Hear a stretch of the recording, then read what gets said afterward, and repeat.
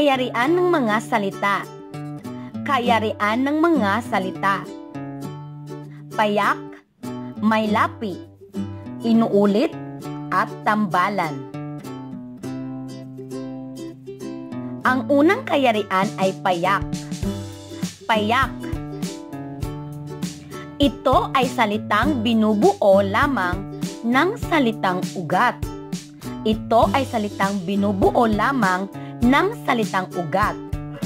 Halimbawa, sakit, tulog, alis, babae, puno, kulay. Iba pang halimbawa ng mga salitang payak. Iba pang halimbawa ng mga salitang payak. Babae. Tama. Puti. Araw. Gamit. Utos. Kalat. Pera. Buhok. Buto. Gabi. Kubo. Aral. Laro. Ang ikalawang kayarian ng salita ay may lapi. May lapi. Ito ay salitang binubuo ng salitang ugat at panlapi. Ito ay salitang binubuo ng salitang ugat at panlapi.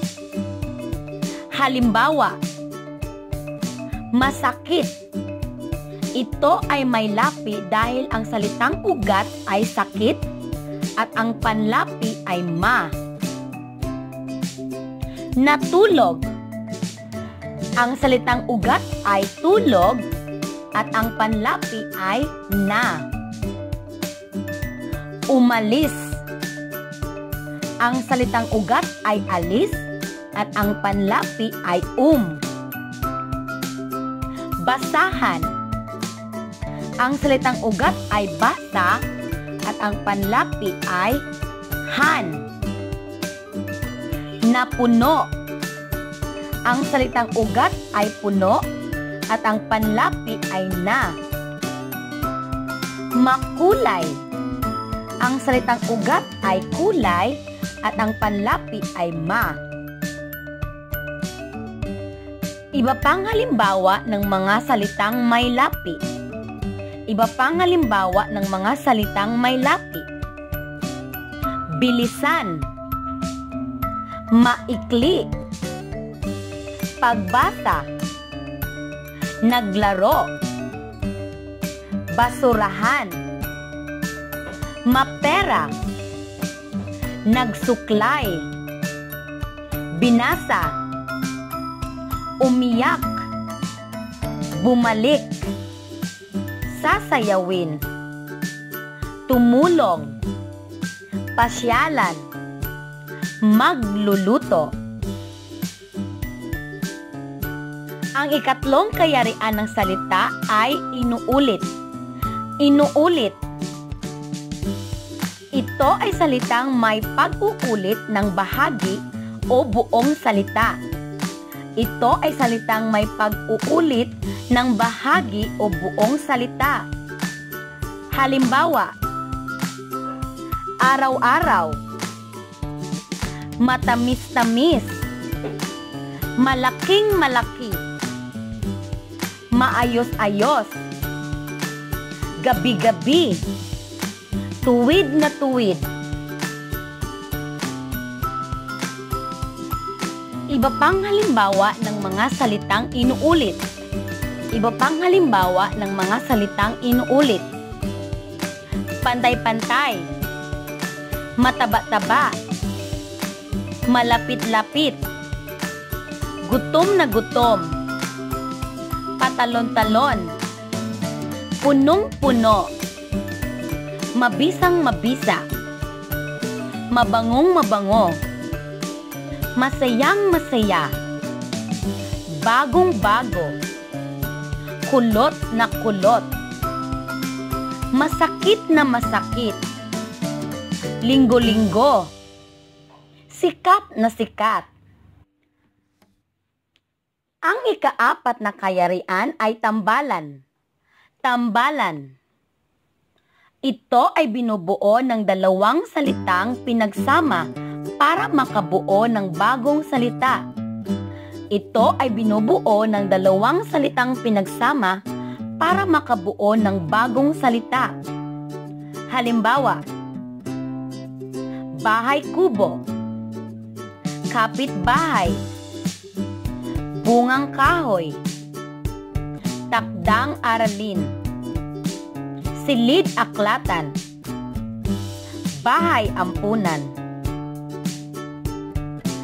Iba pang halimbawa ng mga salitang tambalan. Iba pang halimbawa ng mga salitang tambalan. Taos puso. Labas-pasok. Takip silim. Bahaghari. Bantay sa lakay. Balikbayan. Likas yaman. Balat sibuyas. Punong guro punong kahoy. Silid tulugan. Dalagang bukid. Ingat yaman. Patay gutom. Tukuyin kung payak, may lapi, inuulit o tambalan ang kayarian ng salita. Tukuyin kung payak, may lapi, inuulit o tambalan ang kayarian ng salita. Punong kahoy. Punong kahoy. Ano ang sagot mo? Tambalan. Tambalan. Basa. Basa. Ito ba ay payak, may lapi, inuulit o tambalan? Ano ang tamang sagot? payak, payak. Malamig-lamig, malamig-lamig. Ito ay inuulit, inuulit. Araw-araw, araw-araw. Ang sagot ay inuulit, inuulit. Bahaghari. Bahaghari. Ito ba ay payak, may lapi, inuulit o tambalan? Ang sagot ay tambalan. Tambalan. Bahay kubo. Bahay kubo. Ano ang tamang sagot? Tambalan. Tambalan. Sulat Sulat. Anong tamang sagot? Payak. Payak. Masarap. Masarap. Ito ba ay payak, may lapi, inuulit, o tambalan? Ano ang tamang sagot? May lapi. May lapi. Naglinis. Naglinis. Ang tamang sagot ay may lapi. May lapi. Basurahan. Basurahan. Ano ang tamang sagot? May lapi. May lapi. Iyak. Iyak. Ang ang sagot ay payak. Payak. Gabi-gabi. Gabi-gabi. Ito ba ay payak, may lapi, inuulit o tambalan? Ano ang tamang sagot? Inuulit. Inuulit.